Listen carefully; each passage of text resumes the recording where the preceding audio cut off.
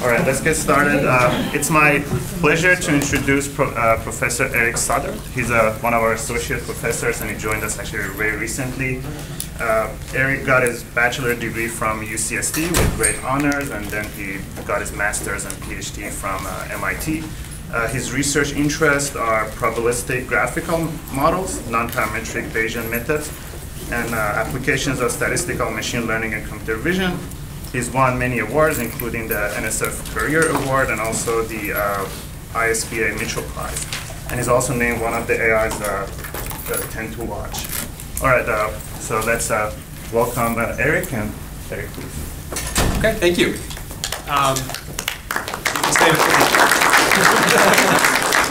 so today I'm going to tell you about some work I've been doing on uh, sort of inference and high dimensional graphical models. You think about the statistical inference problems that have high dimensional complex structure. I want to particularly highlight the contributions of Jason Pacheco. This was uh, a lot of the work he did for his PhD thesis at Brown University. That's where I was a faculty member before I joined UC Irvine. And he's now a postdoc at MIT. Um, okay, so very high level, high dimensional inference problem. We have some data, like an image, and we have some unknowns, I'll call them X in this talk. And we have some probability model that says how X and Y relate to each other. Of course, statistics and machine learning are all about building probability models. But for complicated things, we actually, even if we know the probabilities, we have a problem of estimation, of saying, now given this image, what is the X, what is the sort of model that best aligns with it, okay? And if my things I don't know are all discrete variables, there's sort of finite number of possibilities, then there's a big literature on essentially adapting tools from combinatorial optimization to do this. Okay? Um, but when we have more continuous variables, as you can think about the range of possible poses of a person in the world, not to speak about the shapes of the body and so forth, is kind of a more continuous space of variation, then there's not really efficient general solutions. And this sort of workhorse of continuous optimization, which is sort of gradient-based methods that start with a solution try to go uphill, tend to be just hopelessly bad for these problems. Um, in optimization terms, it's because they're highly, highly non-convex. Um, and so I'm going to talk about a range of, we worked on a range of continuous inference problems from sort of human pose estimation and tracking in videos to protein structure and sidechain prediction uh, to some things in uh, sort of motion planning for robotics and vehicles. Um, in the interest of time, I'm actually not going to talk about this last one and focus on these first two applications in this talk. But I'm interested in machinery that is general purpose that would apply to all of these as well as a huge range of other potential applications. Okay. And the specific inference, inference problem is that we're going to be focusing on is what's called maximum a posteriori or MAP estimation. So it's a posteriori because we have data and we're interested in the posterior distribution of, of our model given data, and maximum because we're finding the max. So we're finding essentially a mode of the posterior, the most likely solution.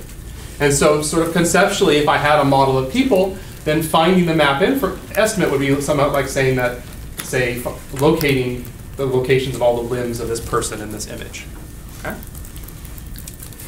Um, but we're not only interested in the max, we're also, if I have a posterior that's multimodal, we'd also like to identify secondary modes. Our models are approximate, so often this is useful to us to characterize uncertainty.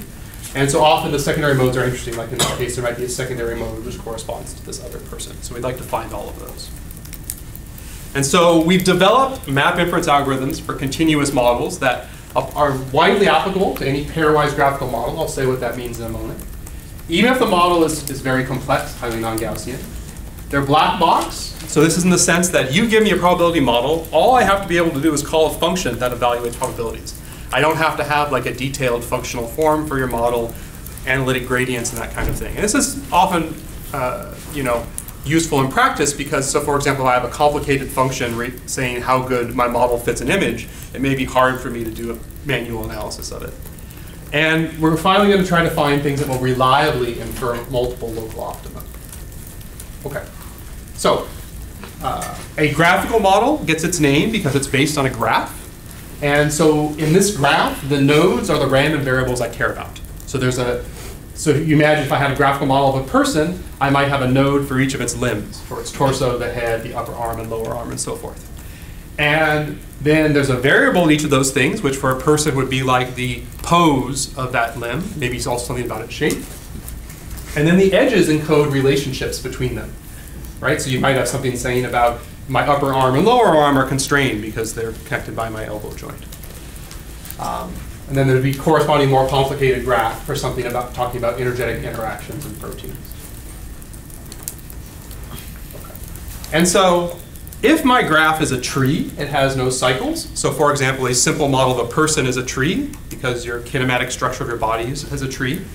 Then I can get the global map estimate the, by, by a sort of efficient algorithm that's basically dynamic programming. Okay? And so imagine I wanted to find the best value of this node x1. Well, I could say that's I need to maximize over all possible values of x1, x2, x3, and x4. Okay? And so I could do that just by a big list, but of course, if I have many possibilities for these things and, and a large number of nodes, that's kind of an exponentially large list of combinations, so I can't do that. But what you can do instead is use the distributive law to say if I want to maximize all these things from the graph structure, I can say, ah, well first I'll maximize over x4. I only have one term in my objective that depends on x4. And that's going to give me a function of x2 that's called a message. And then I can maximize over x3. I only have one term in my objective that involves x3. That'll give me another message. And then given those, I can now solve a maximization over x2. Okay? Um, and, and solve that. And so on and so forth until I get the global optimum. And so just like for those who have seen dynamic programming like the Viterbi algorithm for over time, you can also optimize over trees and with computational cost that's linear rather than exponential in the size of the tree. So that's a very nice thing. Okay. Okay. So, so more formally, we are using these message passing in the trees, and in these messages, we can compute something that's called a max marginal. Um, and so you probably all know what a normal marginalization is. A normal marginal is where you integrate over or sum over all the variables in the graph.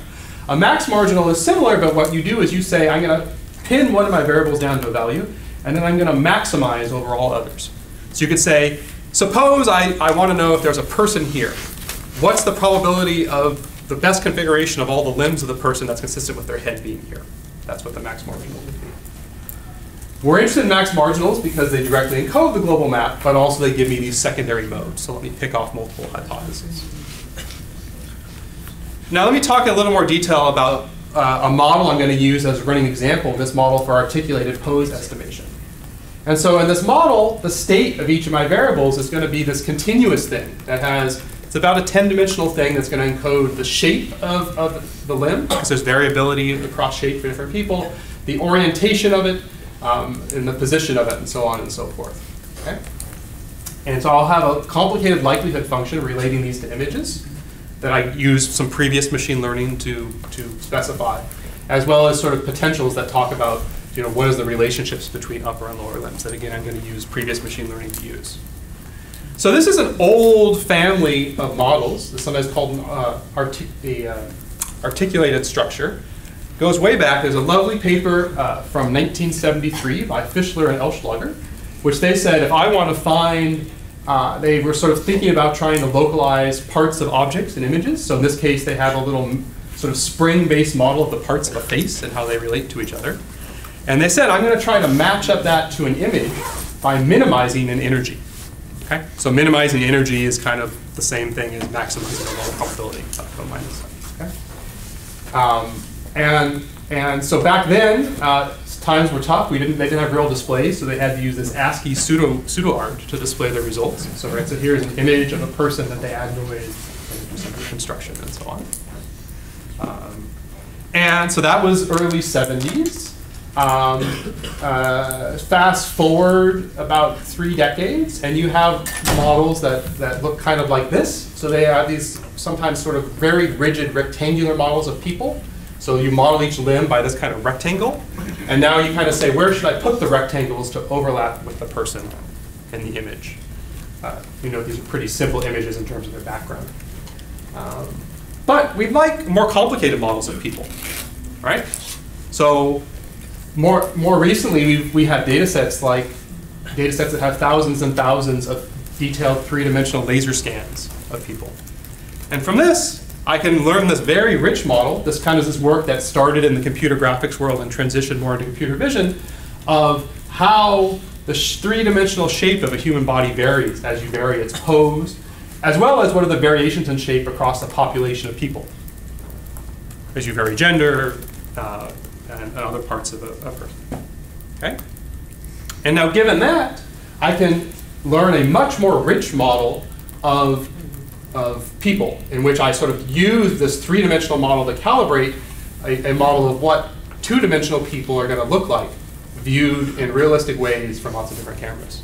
So now I have this much richer model that hopefully will not only let me uh, do a better job of estimating pose, but also estimate pose in a richer way. I can tell more than just, you know, the elbows here. I can tell something about what the size and shape of the limbs are and so on in the image. There's lots of applications where that'd be nice to know. Okay? So again, so I'm going to have this model where in order to encode all this range of variation, you kind of have a high dimensional thing where it's not just the 2D position and orientation, but it's something saying more about the shape and sort of distance from the camera and so on and so forth. So you have more numbers to specify what's going on. Good. Okay, so I have a model and I have a tree structure graph, and so I'll just run that belief propagation thing and get my result. Well, no. So to run that dynamic programming algorithm, you have to say, what are the messages? What are the things I'm passing around? And if all my variables are discrete, so you can think about I have, I'm just modeling the position of limbs and I just have this list of like how many pixels there are in the images. The messages are vectors. You can think of there being like a probability of each location. Okay? And then the message updates is essentially sort of like matrix vector multiplication and discrete maximization. So it's something that roughly has cost quadratic in the number of discrete states. So as long as that number is not enormous, you can do it. Um, but if I have continuous models, um, uh, and, right? These messages, they're, they're actually functions. They're functions over the continuous space, like the, of the range of possible locations and shapes of a part of the body. And they have no analytic form, right, unless you make very unrealistic assumptions. Uh, and so you have this kind of complicated nonlinear optimization problem. And you might say, oh, well, I'll just discretize. And you could imagine discretizing, right? This is like saying, oh, I have a range of head locations, a range of upper arms, lower arms, and so on, just enumerate. And the problem is, is that unless you make your model very simple, you can't do that. So in this deformable structures model, you have about 10 dimensions to describe everything about position, orientation, shape, and so on. Even if you only took 10 grid points per dimension, dimension so 10 possible location, 10 possible horizontal positions and vertical location, which is way too small. But if you did that, you would have 10 to the 10th or 10 million states. Then for a pair of parts, you have 10 million squared combinations. So we can't do that, right? Especially, you know, maybe maybe a supercomputer could do it, but we don't want to run a supercomputer to like analyze, you know, one image to localize objects. So this is going to be infeasible for high dimensional models that we care about. For those of you who have a little background in, in computer vision and machine learning, you may there was one of the sort of classic methods is what's called a particle filter. This is a method that sort of does tracking of a whole body pose by sort of starting with a set of hypotheses. And then you have a dynamics model that says, well, from one video frame to the next, the person can only move so much. So you make guesses as to sort of where the limbs have moved from one frame to the next. And then you evaluate those with respect to the image right? So you sort of check your guesses and you resample. And so that's why you have a lot of things, but then some of these particles don't really line up with the image, so you resample. You make more guesses and you resample, and so on. So you do this over time. And well, you start off okay, but as this is a real run of a particle filter, as you run it over time, you eventually tend to get to situations like this, where there's a person here and then you have this guess, and the model is sort of, all its resources are on this terrible solution. And you get this degeneracy over time. And this is a real problem with these sort of classic stochastic sampling methods. Um, the reason is that for the particle filter, each particle is a full joint instantiation of the model. So one particle sa says the person is like this. Another particle says, well, they're to the right, and their arms have changed like this. And if you think about all the places you could put a person and all the ways they could move their arm, the number of combinations is explosively enormous. And so, and so you say, if I have literally, you know, uh, thousands of trillions of ways you could like ha have a person in an image, and I try to like track that with a, a thousand particles, a thousand guesses, you just can't fill up that space.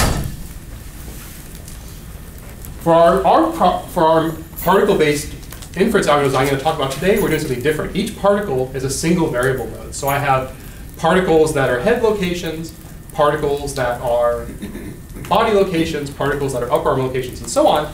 And then I say I'm going to think about all combinations of these particles, all ways of piecing them together into whole bodies. And what's nice is I can do that efficiently and implicitly using optimization algorithms. Okay. So here's the idea. I have this particle max product in which I'm going to have a set of particles. I'm going to sort of guess more hypotheses. I'm going to do my max product updates to see how good they are, and then select particles. Right, so you have this guessing stage in which I make new guesses. So you sort of throw down particles, okay? And you say, some of, some of them will be good, they'll line up with real parts of the body, some of them will be bad. Because you haven't checked everywhere in the image yet.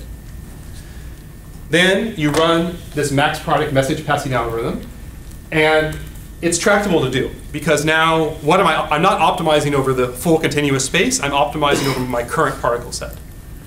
So I won't find the best thing possible in the world, but I can find the best thing out of all my particles efficiently. And then finally, you have this selection step. So I want to run this many times, you know, sort of optimize particles, uh, find the best, then guess more particles, optimize the best. But the problem is that optimization is quadratic in the number of particles. So you can't just keep growing and growing in the particle set because computation gets out of control. So at some point you have to do selection where you say, some of my bad, worst hypotheses, I'll throw them away, I'll forget about them, so they don't slow me down. The particle, classic particle filter does this uh, by stochastic resampling, just basically randomly choosing particles proportional to their probability. And this is something you can prove has good properties in the limit as the number of particles goes to infinity. Uh, so that's lovely. But we don't live in asymptopia. And uh, when you only have a thousand particles in a huge space, the variance of that resampling step is huge. And that's why, in practice, these methods perform very poorly. So we need a better way to choose particles. So I'm going to look at a toy example to illustrate some of what we're doing. Um, so uh, this was some work that appeared on the, at the International Conference on Machine Learning, ICML. So we made this nice image where we have our people spelling out ICML for us. And uh, so we have this kind of simplified thing where basically the likelihood says find poses in which the edges of the body line up with the, the edges of these silhouettes. Okay? All right. And so we're going to initialize, scatter body parts everywhere. All right, and now our goal is, is our inference algorithm, if it works well, it should localize these four people. It should say that there's four modes my posterior corresponding to these four people. And it should also reliably find the global map, which in this case the map is the M because that's kind of a, the most typical pose here of a person. The others are kind of more strange poses. So as baselines, right? So one baseline, was a sort of greedy particle-based method where you, uh, you might try where you basically, you have your current map, you discard all your other hypotheses, and you kind of, you sample a cloud of particles around your current best guess, then you optimize to get a new best guess, then sample a new cloud and repeat. So it's kind of just kind of greedy search. Um, this is multiple runs of that greedy search of the particles you get. And so basically, you just kind of get a cloud of particles in a random location, and what you get is kind of just depends on where you started. Okay, so it doesn't work terribly well. Uh, another version is what's all called top mode particle max product. These are things from prior work in the literature, where you propose new particles in a smart way, I won't go into. And then you basically say, suppose I have 200 current particles and I want to reduce down to 100. What I do is just I sort the probabilities from highest to lowest, easy to sort, and then I just take the top of the list. The problem is, is all this kind of, at one level, it kind of puts the particles in the high, high probability parts of the space. You look what happens. I have a bunch of particles that are all kind of tiny variations on each other. Right, so here you can say that I've got a bunch of like lower arms that are all, they're distinct, but they're almost exactly the same. Because they're just epsilon apart in probability. And then if I run it a second time, I get the same thing except I get a different person. So with different runs, I'll randomly get different people, different parts of the space. So that's not so good.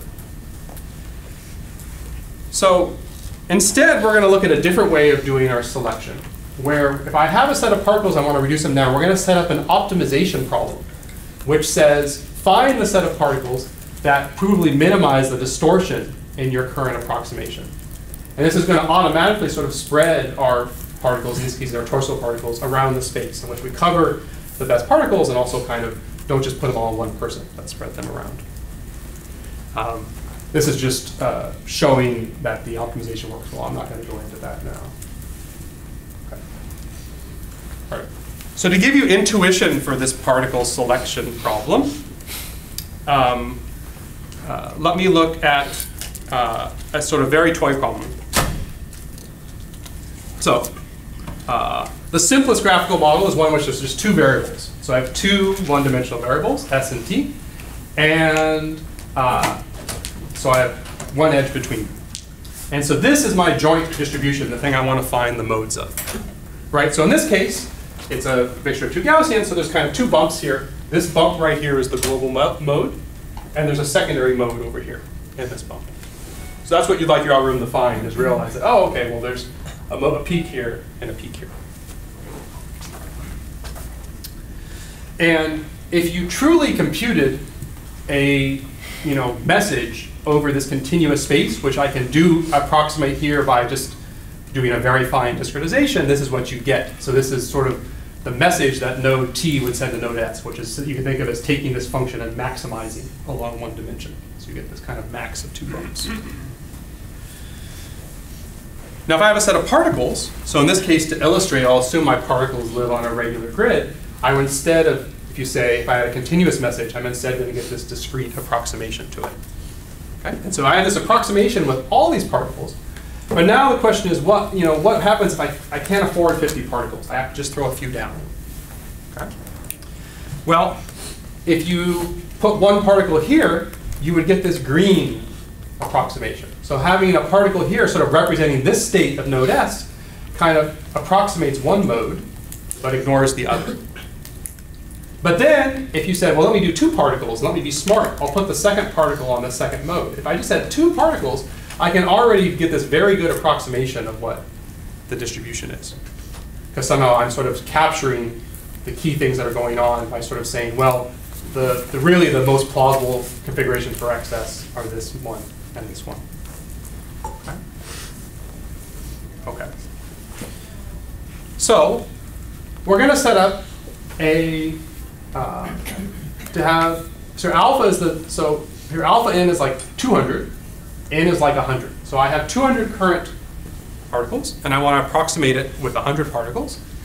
And I want to do it such that I minimize the distortion between messages. So you could say that there's a green message and a blue message, and to the extent that they differ, that's going to be an error. I'm going to sum up my errors. Okay? So classic optimization problem. Now note, not trivial, right? If I, if I want to pick, if I have 200 things, I want to pick 100 of them, that's 200 choose 100 combinations, right? So that's exponentially big. And it's uh, uh, NP hard to, do, to find the optimum. So we typically take that as bad news in computer science. Uh, but the good news is that it's submodular, uh, which means that uh, we're in shape. So what is submodularity? So submodularity is a property of discrete optimization problems. So if I'm optimizing over a set function, so right, I want to pick a subset of particles. So I'm picking, I'm sort of choosing a subset of things. Um, submodularity means you have diminishing marginal gain. So this says I want to maximize something. And I say, suppose I have, I'm going to consider adding one new element to my set, one new particle. The gain from adding that, to, that new element to a small set has to be bigger than the gain from adding that element to a big set. so what does this what does this mean intuitively here? It says if I want to uh, I'm choosing particles to approximate my posterior, I get the most benefit from a particle if it's all by itself. And then if I instead I have a part of the space where I already have a few particles and I put another one right next to them, I'm going to get less benefit, provably. And what's great about these sort of submodular maximization functions is if you just do the, the, the dumbest algorithm you could think of, which is a greedy one, which you say, I have this objective, pick the part, pick the single particle that reduces it the most. Now take your second one and reduce it as most, and so on. So just greedy. That's provably almost optimal. So you get within 63% of the optimal solution. And in our case, since we're just picking sets, this is, gives us a small amount of overhead that is uh, no problem in practice. Okay? So how would this greedy algorithm that's provably close to optimal works? It would say, okay, you figure out your maximum of the margin. So this is basically in my if I my current approximation of this blue message, where is the biggest error? And that's right here. And then now you pick the particle that reduces that error as much as possible. So I pick one particle and I knock down, I approximate that mode and I do that. And now I say, oh, now given that I've selected that one particle, where is my next biggest error? And it turns out it's right here. So you put a particle on this next mode, and so on. And now you say, given I've done that, where is my next biggest error? And you put a particle on this next mode, and so on and so forth. So here, what I'm showing is that here, even though I started with 50 particles, if I cleverly pick three of them, which our algorithm can do automatically, you get a very good approximation. And so if I go back to that toy problem, this is what I get if I run it multiple times on that data. And so reliably, every single time, I get particles covering all the people and all their parts and something's routine. Okay? And so I find the map every time. Um, here's a way of quantifying that. This is, uh, these are box plots across 10 random initializations of, if you look at left, this is errors. And um, so these are what standard algorithms are. You see this huge spread in error, where some runs you get a great answer, and some runs you get garbage right? And so a lot of these park algorithms have traditionally been this way, and so thus they have this property that if an expert wants to use them to make a figure for her paper, there's no problem. You just run it until you get it working. But if you give them to someone else and you want to use it in a real application where you care that this thing works over and over and you're not an expert, they're basically unusable. On the other hand, if you go, these are two variants of our algorithm, you uh, see these box plots, essentially with every single one, you get very low probability, sorry, very low error, this is uh, log probability, so higher is better, and across all the runs you rely, you get very little variability, the probability of the best solution you find. Yes? Quick question, could you go back two slides uh, on the, on the formula with the, yeah, this one. Can you uh, uh, comment again why blue message, MTS, the true message is available to you quickly? I, I lost track of this a little bit. Because that requires, right, this optimization requires computing. So the, the um, um, this continuous thing well, in the it is not known. We don't know that. In the formula, you need MTS. So the M is uh, the M is the M in the formula. It's this blue histogram. So this is the message on my current particle set. So the idea is I have a so the true continuous optimization I don't know. Right. So what what we're proving in this particle selection is particle filters always have this step where you you uh, you guess new particles and you get better, closer to the true continuous optimization, and then you select particles and you throw things away and you lose something. And so what we're, what we're doing is we're saying by doing this optimization instead of stochastic sampling, we're going to guarantee that when you discard some hypotheses, you lose almost nothing. Okay, got, got you. Thank you. Yeah. But there's still this question of what is the gap between this and this, right. and then that's not, we're not that's that's where that's why you do multiple iterations of this to allow the stochastic proposals to close that gap. Did, did, that make sense? Yeah. Good. Okay. Okay. And now, um, looking at real images, um, so there's a, a, standard data set where people have been labeled.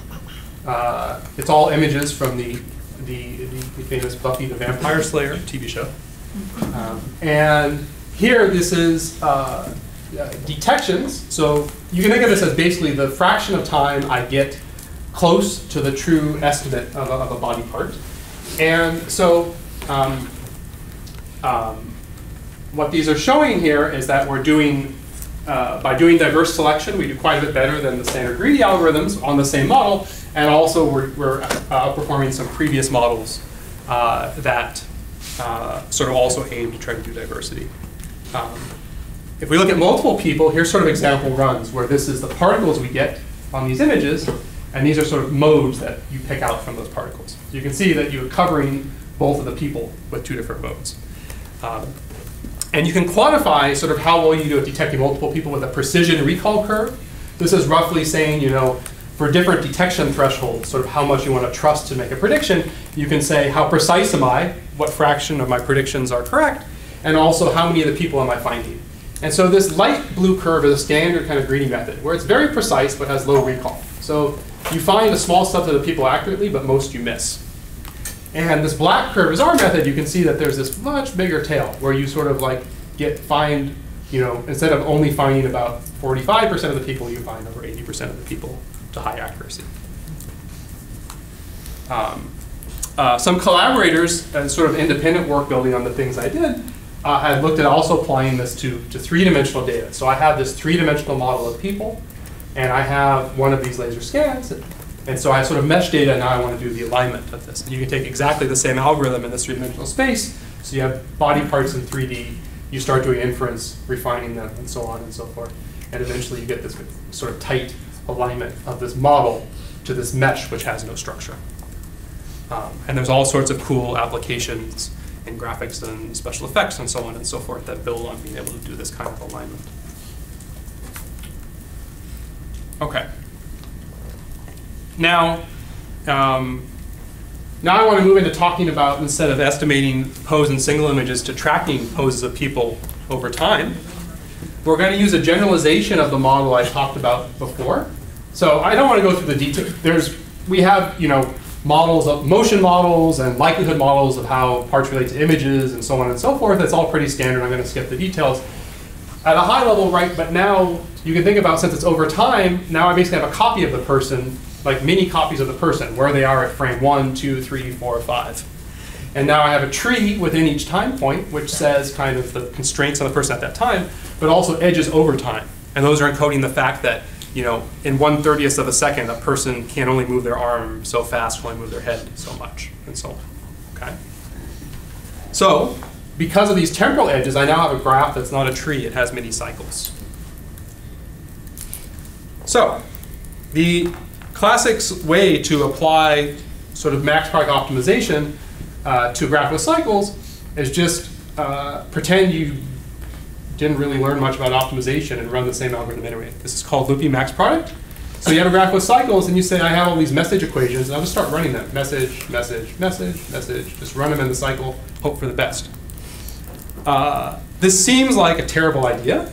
What's cool is that there was a decade of research showing that it actually is a great idea. And in fact, the state-of-the-art decoding algorithms for error correcting codes that are today used in cell phone and satellite communication are based on exactly running this loopy max product algorithm in a particular graphical model, representing the structure of the code. However, error correcting codes are very special, and for other graphs like the ones I'm going to work on here, this can have fairly poor properties. But nevertheless, we can think about bringing in other tools from optimization theory. And I'm going to kind of go through this bit quickly, but um, basically what we can think about is if I have a graph with cycles, I can cover the graph by a mixture of trees, right? There's many spanning trees in any graph with cycles. So if I have some convex combination of spanning trees, it turns out you can use the distributions over trees to sort of get upper bounds on the true log probability. So if I think about the sort of optimization over each tree, uh, that I can do tractably. And it turns out if you take combinations of these tree optimizations, you can show that that upper bounds the true optimization solution. You, why is it upper bound? Essentially, if I take trees instead of a compute graph, I'm kind of throwing away some constraints and relaxing the problem. Uh, and then you can bring in ideas from duality and so forth. You get a high dimensional problem, but if you're very clever, uh, as Martin Wainwright is, you can show um, that the solution to this dual optimization problem can be re represented by a small variation on max product. So this equation looks a little complicated. If you sort of roll your eyes, it has a lot of the structure of the equation I showed earlier. The only difference is now I'm taking messages and raising them to these powers. And these are numbers between 0 and 1 that damp the messages, and they come from the sort of probabilities in these trees. What's nice about all this theory is that there are connections to linear programming relaxations of problems. And so I have a current solution to a problem, and I also have this upper bound, and as inference runs, sometimes these two things will approach each other. And so there are cases in which even though you have this graph with many cycles, where we know in general map inference is NP hard, you sometimes get the globally optimal solution. So by doing this relaxed inference, sometimes the algorithm returns a certificate that says, for this particular problem instance, I know I found the global map. Right? Because essentially ba- you can check that your bound becomes tight. Um, and, uh, and so this has been a sort of workhorse in the discrete computer vision world. So for example, in stereo vision, where I have two images, and now your goal is to sort of like sort of find the, the sort of distance or disparity between pixels, which lets you estimate depths of points in the scene. Right, so you're basically trying to say what's close and far from the camera. Uh, in a standard benchmark, they found that basically in about 90% of the test instances, 90% of test images, you actually could get the global map with this reweighted max product algorithm, which is pretty good. Because before that, there were a lot of kind of heuristic optimization algorithms and people didn't really know how good they were doing at optimizing. But these standard algorithms you can only apply in cases where you have your variables are discrete and small in number. So we're going to fuse these ideas with our particle methods, in which we're going to augment particles, and now on our graph with cycles, we're going to do this reweighted max product update, and then select diverse. And so the optimization is going to look like this. You're going to basically, you have a current solution. You get new particles, and then that gets me, you know, and then I run discrete optimization. As I run discrete optimization, I have my current guess over the particles and my upper bound, and those will go, and those will typically become tight. And then I get new new particles, and then I redo that thing. So you can think about you these become tight on a higher plateau because your particles are getting better, and you do this many times. Okay. Okay. And so I'm going to skip uh, a little bit of the extra theory I had here, but um, you uh, you can apply all the same greedy algorithms. They have the same properties. A nice thing too is that by minimizing errors and messages, I can provably show that this minimizes upper bounds in our max marginal distortions. So you can kind of show that this objective is minimizing precisely the thing you care about if you want to solve inference problems. All right, let's look at results instead. So here's some example examples. So these are, there's a video pose 2 data set. So this has bunch of uh, basically sequences clipped from TV shows where the true locations of people have been labeled so that you can use it for evaluation. In this case, this is from Friends, obviously. Um, and so in these plots, we're showing results of, with the same model, with the best model we could make, two inference algorithms. The sort of, the light blue is the, is the TPMP, that's the more greedy algorithm. And then the red is the DPMP, our diverse algorithm that spreads particles out. Um, and so sometimes they both work, but if you look at, uh, here, actually the next one has, has a better example. So here the top is the standard greedy algorithm, and the bottom uh, is our diverse algorithm. Watch what happens on, uh, on, that's on the right hand, so the arm that's to your left, his right arm. And you'll notice that sort of partway through this sequence, right, the greedy algorithm basically loses that arm completely. Okay. Whereas our algorithm at the bottom sort of tracks it throughout. Why does it lose it? It's because you know the model is, says what do arms look like? They're things that are kind of flesh colored and have some edges. And right here, right, it basically partway through it mixes up the right and left arms. So it kind of thinks that he did like this and put his two arms on top of each other. And so it degenerates where it has all of its particles like this and doesn't cover. On the other hand, the diverse particle max product algorithm says, ah, well, I realize there's two modes. And I, because I do this optimization, I'll maintain particles this way and also particles this way. And it lets you get better robustness in your result. And um, you can quantify that. So this is, again, accuracy. You could think of this as the fraction of, of, of frames in which you get a good result, you almost post it, for various detection thresholds, various tolerances. And if we just focus on the left here, this is basically showing that um, the red versus light blue is the gain in performance you get by this diversity. And we also do well, uh, you know, uh, compared to some competitive baselines from the literature, which are these uh, black and purple. Okay. All right. Okay. So now, Actually, before I move on, are there any other questions on the pose estimation problem? How this is working? Uh, Yeah. One quick question. When you try to detect the person, do you need to specify the number of a person in the frame? So, in this case, here's the way to think about it. Our model is a single person model, and if you give it a sequence in which there are multiple people, the multiple people will be multiple modes of the posterior distribution, right? And so, thus, we'll sort of implicitly get multiple people by sort of finding those multiple modes. Um, it's not an explicit multi-person model. You could do that, but that complicates other things in various ways. It's a good question.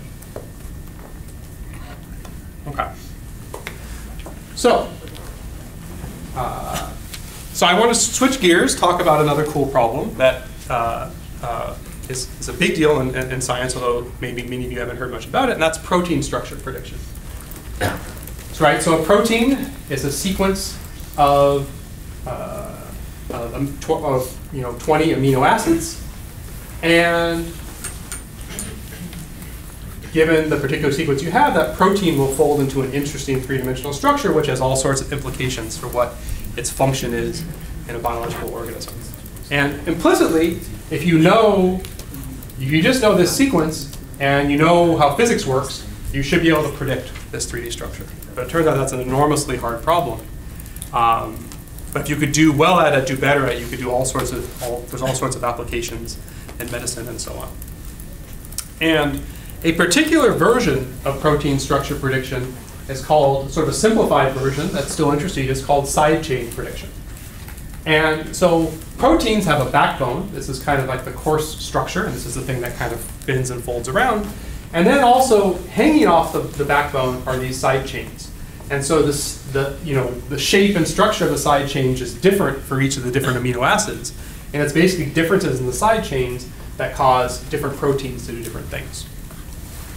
And you can think about the way these, these side chains kind of wave around by they have different continuous rotation angles that specify their locations in 3D.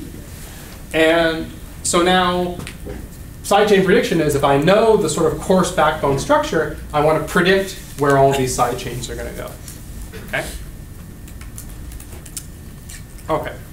So the classic approach to doing this uh, uses a, a discretization. It's called a, they're called rotamers for reasons I won't go into, but it's basically says that if you look at empirical distributions of where pro, you know proteins tend to go, it turns out they tend to kind of fall at one of three angles. So there's kind of the three peaks that empirically most sort of side chains tend to go.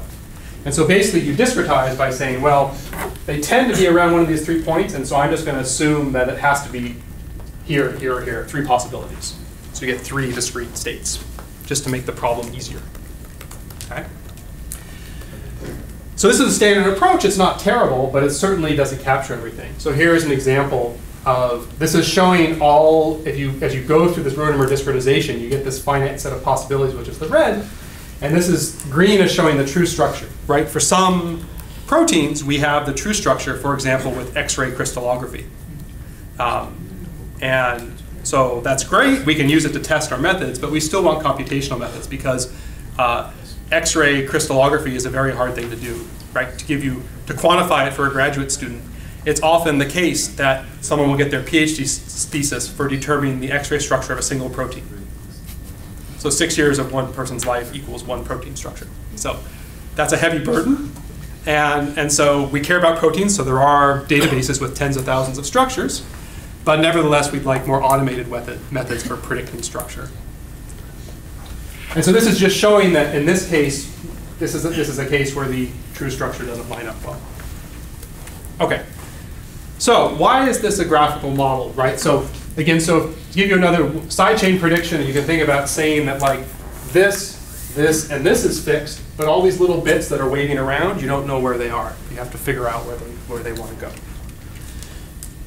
And um, so this gives us a graphical model where the nodes, there's one node for each of the amino acids, and this, this, the, uh, the uh, state at that node um, is the set of basically side chain angles. Okay? So this is between one and four continuous numbers, depending on which amino acid it is. And then now the edges come from the fact that if I fix the coarse structure of the model, then you know how do side chains interact? It's basically like attractive and repulsive energies. And once they get far enough apart, those energies are negligible and you can ignore them. So it's basically you have edges between any pair of amino acid whose physical distance is not too big. So you get a graph that's sparse. So right, and just to give you a sense, right, this is you know eight amino acids in this little picture. Real like uh, for real proteins, a small, a very small one would have a couple hundred amino acids, and we're interested in ones that have thousands. Okay. But so you have this graph that's sparse but has many cycles. The potentials uh, are sort of a, com- a combination of statistical and physical knowledge. So they have these potentials, like I said, that say you tend to fold to certain side chains. That's a statistical measure. And there's also things that capture atomic interaction. So this is this axis is, is kind of the distance between uh, two uh, two atoms in the two two atoms in, of the two side chains. And roughly have this thing where if they're far enough apart, they don't interact. As they get closer, you get a sort of boost in probability. So it's higher probability or lower energy. So there's attractive forces that encourage things to fold. That's of course why proteins do anything useful. But then uh, as you get too close, energy goes to infinity, probably goes to zero. Which basically, why does that happen? Basically, two electrons can't occupy the same space at the same time. So it gives you actually a model that's kind of hard to do inference on because you have all these points in which it's just just in the same way if I'm waving my arms around when they hit, that's a point that I can't move. You have the same thing going on with these things. You get all these kind of hard clashes, and that makes if you just do like gradient-based continuous optimization, it's just hopelessly bad. Okay. okay. So, but we can apply the exact same inference algorithm I talked about before in the vision problems to this problem off the shelf. No changes to any of that code, just with a different definition of the potential function. We're now, so I have a set of particles which are guesses at the location of the side chains. I sample more. I have this graph with cycles in which I do that reweighted max product update. So, so there's cycles just like there was in the pose tracking, but I can do it. And then I do a diverse selection and continue. And you get the same kind of thing where you sort of push up probabilities in the continuous space over time. Um, so our energy is going to come from Rosetta. This is a enormous open source software package produced by biochemists that has a huge number of contributions. If anyone's ever heard of this Foldit game, uh, so this was a video game that was created where people basically tried to fold proteins. Where Foldit came from is the folks who do Rosetta their standard algorithm for doing optimization were basically simulated annealing with fancy proposals. It's terrible. Works really badly. So they said, we can't figure out how to optimize this thing. Let's see if we can get people to do the work for us. And so they made a video game where they could do it. So if you've heard about that, it's a cool thing. We are using exactly the same energy function that went into that. So we're trying to make algorithms that can optimize that thing that the people were trying to optimize. And so we're going to replace, we're using their black box energy. What's nice is because I should say the code to this thing, um, I don't know. To be generous, it's intimidating. Um, but the nice thing is we don't have to know exactly what's going on. We just kind of can use it as a black box that say, here's some current guesses, tell me their energies or probabilities, and then we, that's all we need for our code to run. Um.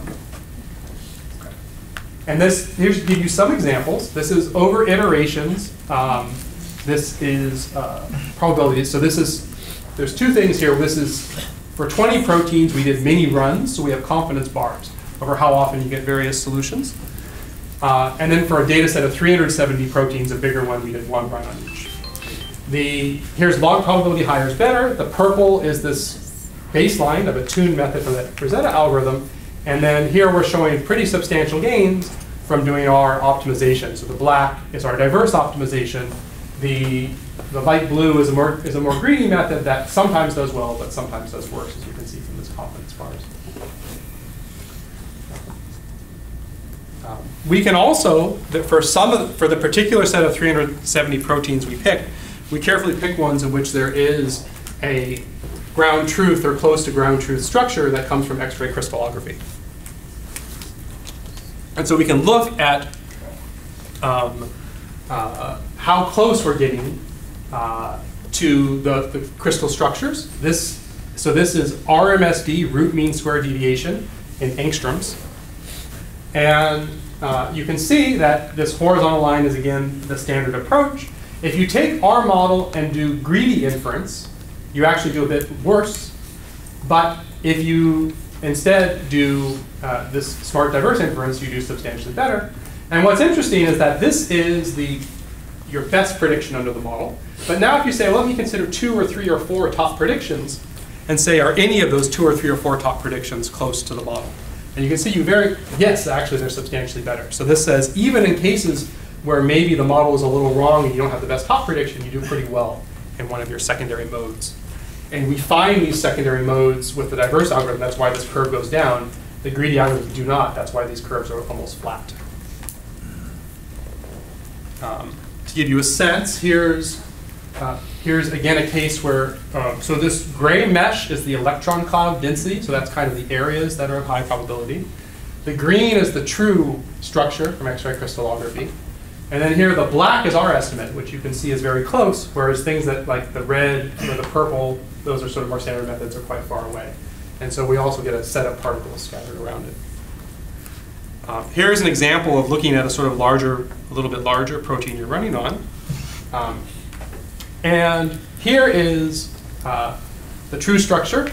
Here is the predictions of a greedy algorithm. And so at first, if you kind of look at this at first, you say, oh, well, I don't know, you know, it's got a lot of things that look similar. Maybe that's pretty good. And it looks pretty confident in its predictions. Uh, but now if I zoom in on this little bit, so this bottom is zooming in, you can see that, yes, it has a bunch of confident predictions, but sometimes they're just totally wrong. So as an example, if you look in these squares, it has a confident prediction over, over where it thinks that sidechain is that basically is just completely different from the ground truth. If I instead run the diverse algorithm, you get this kind of result, where it's finding the top modes, but also finding secondary modes.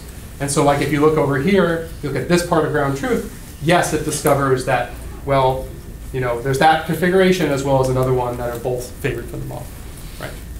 And so there's true uncertainty, right? So a lot of, in, in proteins, there's a lot of uh, sort of, for example, disease is related to there being two different ways a protein can fold. And if a protein folds the wrong way, it has bad implications. And so that's why in the space, capturing uncertainty is, is very important. Um, and so and so it's nice to know sort of which parts are constrained and not, and we, our algorithm has a hope of actually capturing that. Um, so, so to summarize, we have this particle-based inference algorithm that applies to a, a very broad range of, of, continuous graphical models, and we've validated it in, in several of these applications. And for me, what's nice is that a couple things have come together in this work. One is that it has broad applicability. We have some general, general purpose code online you can download that basically just says, as long as we can evaluate your energies, you can run it. And so you get all the benefits of this diverse selection. And it's something that, uh, unlike many sort of stochastic selection methods, uh, requires less tuning. Um, so it gives you sort of rigorous non-asymptotic bounds on accuracy from that diverse. And so it's nice to have the theory, and that theory does really translate to a better performance in practice. Um, so thank you.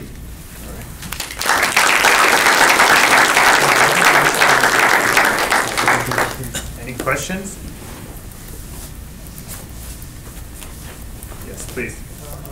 I was just wondering, uh, whether, how, how would the idea of Markov random field would work in this case? So these models are Markov random fields. So they're Markov random fields. So the Markovianity comes from the graph structure. So to give, like, if I look here, uh, uh, for the protein problem, it is Markov with respect to this graph but it's a Markov random field in which, you know, uh, almost all, if you take any class or read a tutorial on Markov random fields, the vast majority of the literature is talking about random fields in which the variables are discrete. And I think the reason for that, or, or fields in which the variables are jointly Gaussian. And I think the reason for that is that in the continuous non-Gaussian case, the algorithms we have to do inference in the Markov random fields have traditionally been um, I have worked in the space a long time, so I think I can say most of the algorithms are just terrible. They're, they're, kind of, they're kind of useless in practice. And so here we're really trying to make an effort to, to get something that would actually work for a broad range of continuous Markov random fields so that maybe that can become a more practical modeling tool in, in computer vision and the sciences and so on and so forth. Yeah. So is your ground truth uh, is the true map solution or it's like a, a true like a protein structure? So I'm not sure whether there's any like mismatch between them. Well, there is potentially some mismatch. Yeah, so we're, we're, we are finding map of these, these models. Mm. And I think for some of these proteins, it's, it's pretty, sh- we're pretty sure we have the true, close to the very close to the true continuous map. Um, But the, uh, you note that our map has this error from the true structure, and when you take more particles, that goes down. Now, there's two reasons for this, right? So, uh, one reason for this is in fact that there is actually no single true structure for proteins. So, for when proteins fold, there will actually be some amino acid, some side chains who are highly constrained, so they're at one point, but there's actually will be other ones that maybe are on the edges of the protein that can kind of wave around. You think about they're not very constrained. And so when you do the crystallography, you might say, um, uh, I think it's here, but in fact it could also be there too. And so there's some errors you're going to get from that fact. But also some of these errors are due to weaknesses of the model.